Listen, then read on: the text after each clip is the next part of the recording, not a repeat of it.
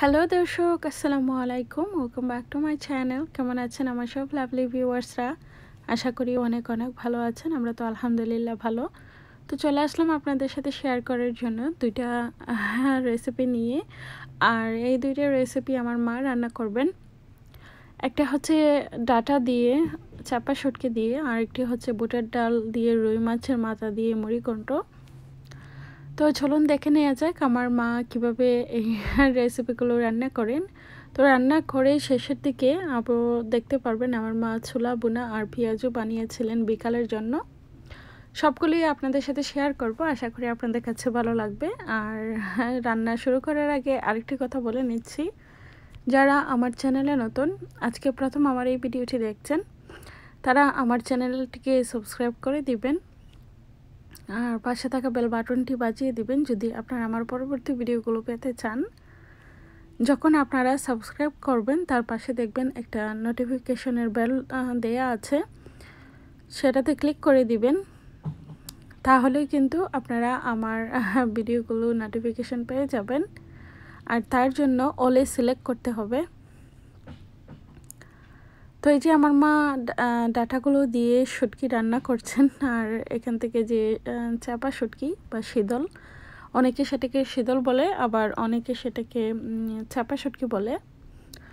তো শুটকির যে কাটাগুলো কাটাগুলো উঠিয়ে নিয়েছেন, আর অন্য পাশে মুড়িকণ্ঠটা রান্না করার জন্য আরেকটা চুলায় বসিয়ে দিয়েছেন। এই মুড়িকণ্ঠটা আমার হাজব্যান্ড অনেক পছন্দ করেন এই জন্যই আমার মা রান্না করছেন। আমার মায়ের হাতের এই মুড়িকণ্ঠটা আমার হাজব্যান্ড খেতে খুবই পছন্দ করেন, আগে অনেক খেতেন। তো যেহেতু আমার মা এখন আর নিউ ইয়র্কে না, তো এই জন্য খাওয়া হয় না। আর আমার মা আসলে আমার হাজব্যান্ডের পছন্দের খাবার চেষ্টা করেন একটু একটু রান্না করার জন্য।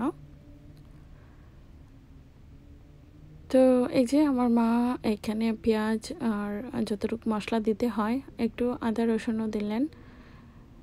তো এদিকে হলুদ, মরিচ আর একটু জিরা, একটু ধনিয়া দিয়ে আমার মা সেটাকে রান্না করে নেবেন।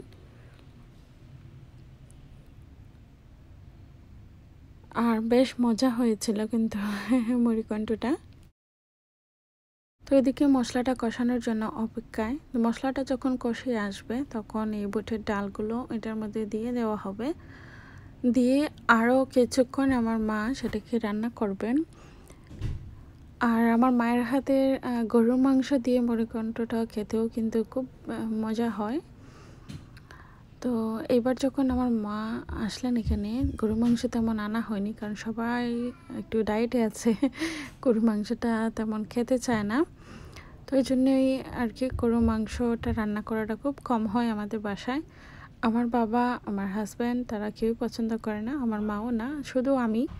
তো একা খাব বলে ওই জন্য আর নিয়ে আসা হয় না।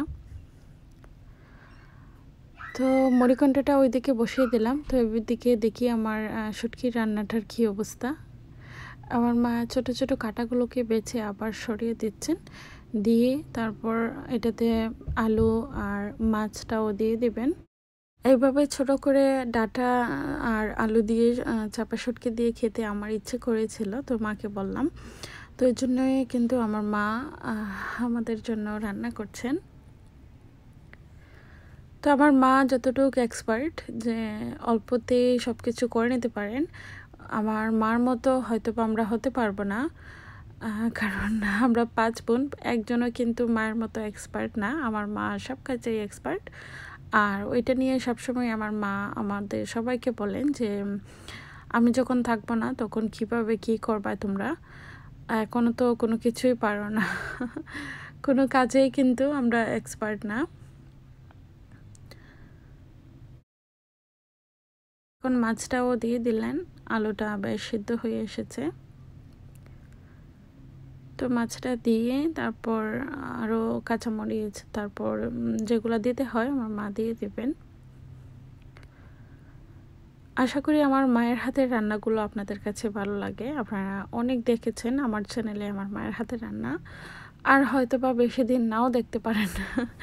কারণ কখন আমার মা আমার কাছ থেকে চলে যান আবার।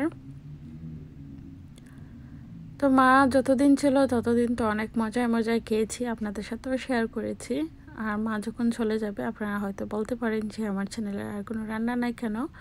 কারণ মা চলে গেলে আমি তেমন রান্না করতে মন চায় না। আমি রান্নাটা তেমন করিও না। আমার হাজব্যান্ড বেশিরভাগই দেখা যায় বাহির থেকে কিনে নিয়ে আসেন।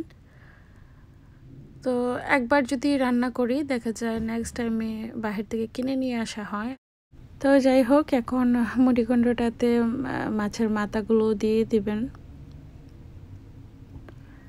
তো একে একে আমাদের দুটা রান্নাই কিন্তু অলমোস্ট তো বাকি যেগুলো দিতে হয়, কাঁচামরিচ, ধনে পাতা দিয়ে শেষ করে দিয়েছেন।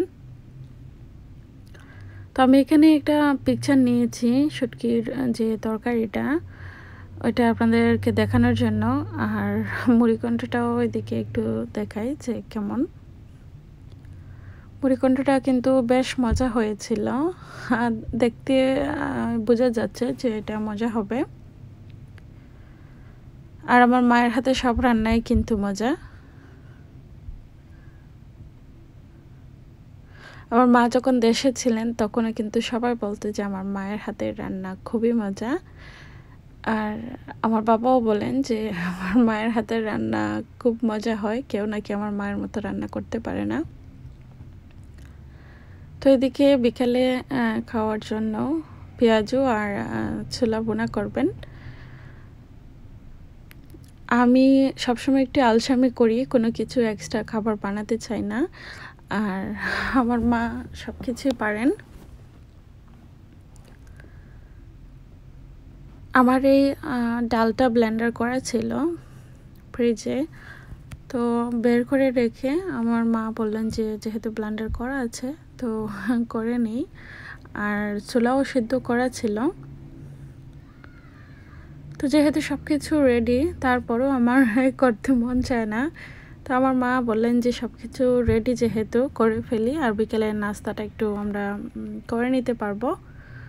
তো এই যে এদিকে ছোলা পোনাটা রেডি তো ভিউয়ার্স আশা করি আমার এই আজকের ব্লগটি আপনাদের কাছে ভালো লেগেছে। আর যদি ভালো লাগে থাকে, তাহলে একটা লাইক বাটনে লাইক দিয়ে দিবেন। আর যারা সাবস্ক্রাইব করেনি, তারা তো সাবস্ক্রাইব করে নেবেন। তো মচমচে করে যখন পেঁয়াজগুলো রেডি হয়ে যাবে, তখনই কিন্তু আমরা খাবারটাও শুরু করে দিব।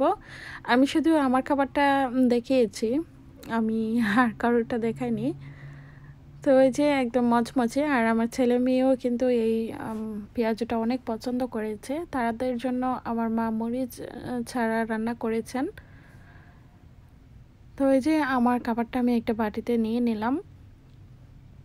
তো আপনারা এনজয় করুন, আমার খাবারটা অনেক দিন হলো ছানা মুড়িটা খাই না।